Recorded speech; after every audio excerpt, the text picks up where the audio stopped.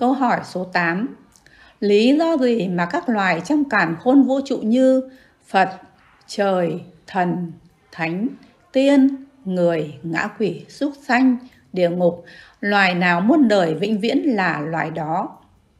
Tôi là Thiền gia Hoàng Hiệp xin trả lời câu hỏi số 8. Các loài trong càn khôn vũ trụ như Phật, trời, thần, thánh tiên, người, ngạ quỷ, súc sanh, loài nào cũng có từ những hạt chân như mà sanh ra. Loài nào vĩnh viễn là loài đó, chỉ có kim thân Phật siêu nhỏ mượn thân và tánh người đi luân hồi mà thôi.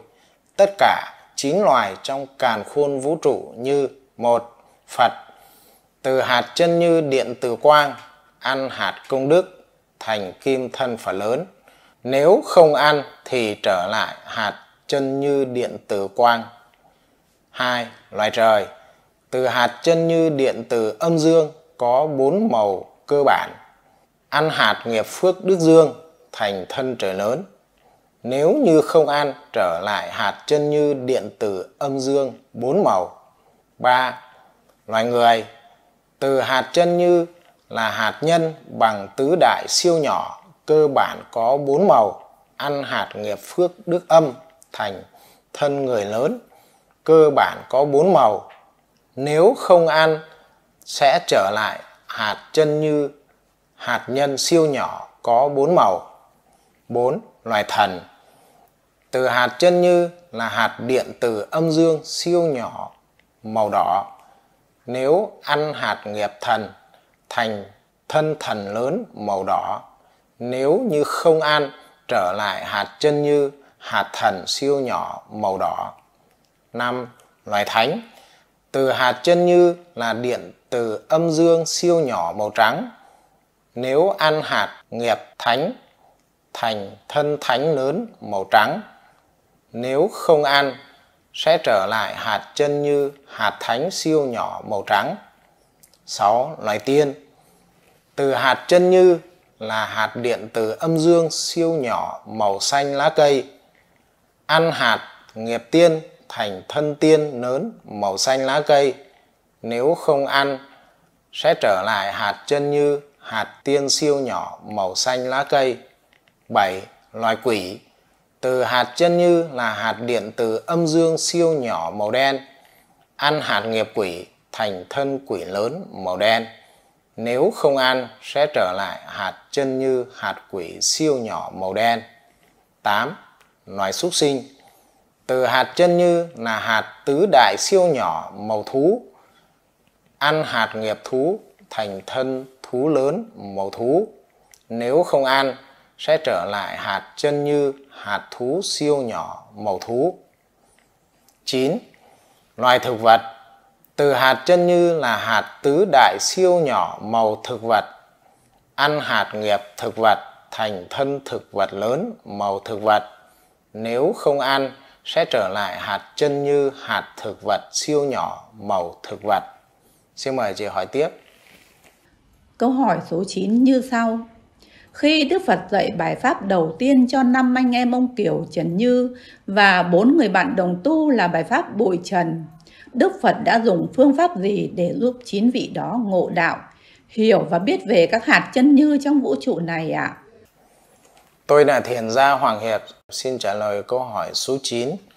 Đức Phật nhờ vị thần quản lý kho hạt chân như đưa cho chín người này xem và giải thích nên các vị này hiểu nên giúp Đức Phật lập ra giáo đoàn đạo Phật. Mời chị hỏi tiếp. Câu hỏi số 10.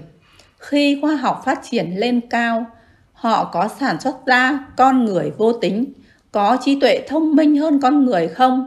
Và có xảy ra chiến tranh giữa người vô tính và người bình thường không? Xin ban quản trị cho tôi được biết ạ. À.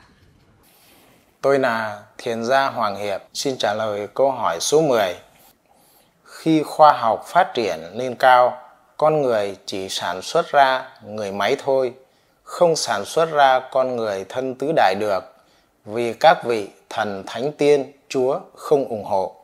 Nếu con người sản xuất ra con người bằng thân tứ đại là tai họa, nên họ không sản xuất ra con người vô tính là vậy. Xin mời chị hỏi tiếp. Tôi xin được hỏi câu hỏi số 11. Trong giáo lý đạo Phật khoa học vật lý thiền tông có bài 24, phần 2, Đức Phật chỉ dạy cho loài người cách làm cho sự sống trên trái đất và loài người không bị hủy diệt sớm, mà kéo dài cho đến đúng chu kỳ thành, trụ, hoại, diệt của nó.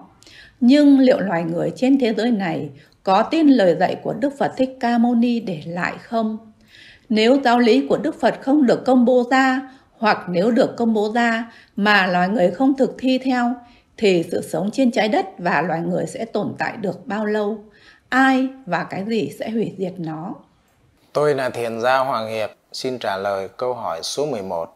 Nhiệm vụ của vị Phật lập ra đạo để dạy loài người biết chân thật trong càn khôn vũ trụ này.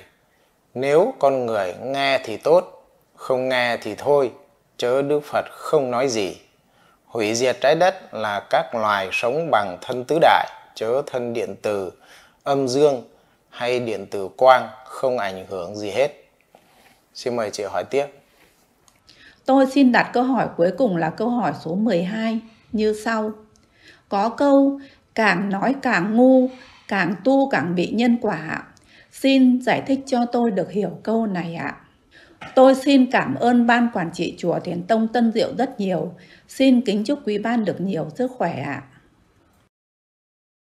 Tôi là Thiền gia Hoàng Hiệp xin trả lời câu hỏi số 12 của chị Nguyễn Thị Thêu ở Văn Giang, Hưng Yên. Đạo nào cũng vậy, biết thì nói, không biết thì đừng có nói. Mình không biết mà nói cho người khác nghe, càng nói chắc chắn càng ngu. Đạo nào cũng vậy, biết tu thành gì thì tu, không biết mà tu đại, càng tu lại càng bị nhân quả.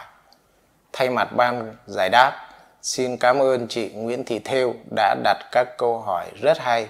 Cũng xin chúc chị và gia đình có nhiều sức khỏe. Xin chân thành cảm ơn.